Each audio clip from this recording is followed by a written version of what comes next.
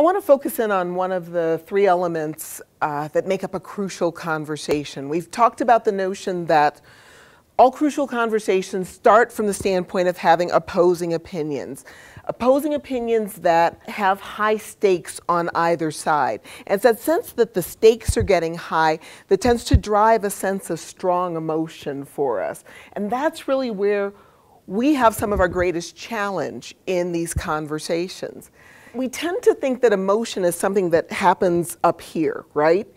But in fact, our emotions are very strongly wired into how we function within the world. I mean, our emotional responses aren't just about what happened in traffic today. They're about what our ancestors have passed down to us. Our ancestors, and I know it was our ancestors because we're the ones who survived, right?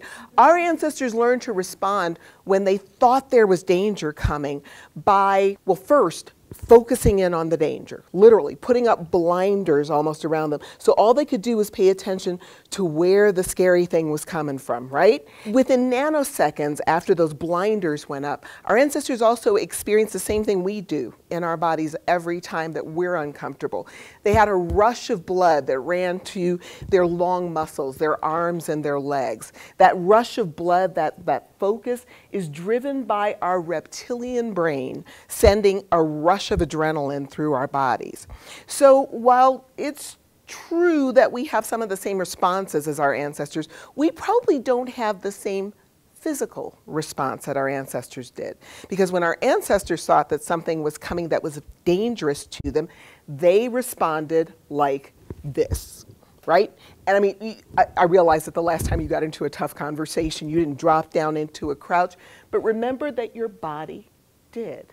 That reptilian brain is still sending out that signal that says, be ready to survive, sending that rush of blood into those long muscles so that if whatever is coming is something that you can take out with a punch, you've got lots of power in that arm to, to make that happen.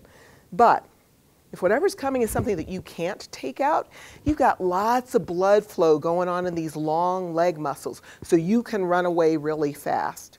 So there we are, middle of that crucial conversation, the opposing opinions, the high stakes, the strong emotions, and we are in the crouch, in fear. Blood here, blood there. Ladies and gentlemen, where is blood not?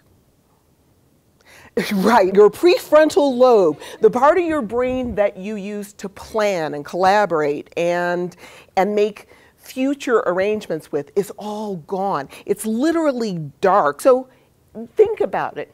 We face some of the toughest conversations in our lives, some of the toughest conversations in our lives, being guided by the part of our brain that responds to oncoming predators. You'll spend 23 hours and 55 minutes out of every day looking exactly like the people in this room.